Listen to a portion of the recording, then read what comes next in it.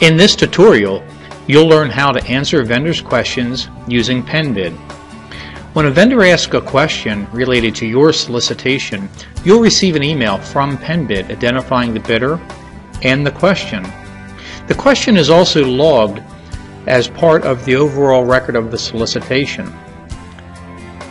Clicking on the Questions tab provides all questions, both those already answered and those needing your attention. From this view, you can see who asked the question.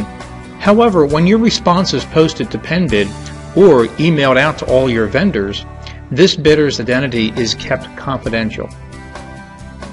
Select the question you would like to edit and click Edit.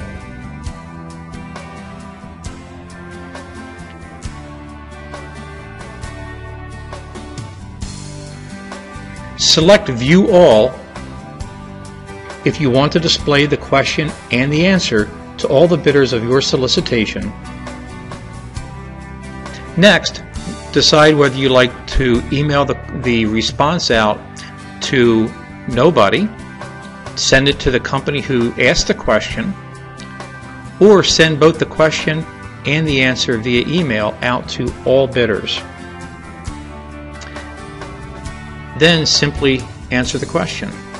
You can either keystroke it in or cut and paste from another document. Click Update.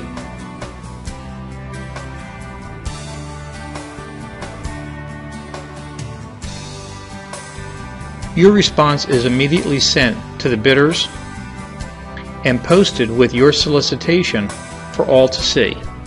I hope this was helpful. Thanks for watching.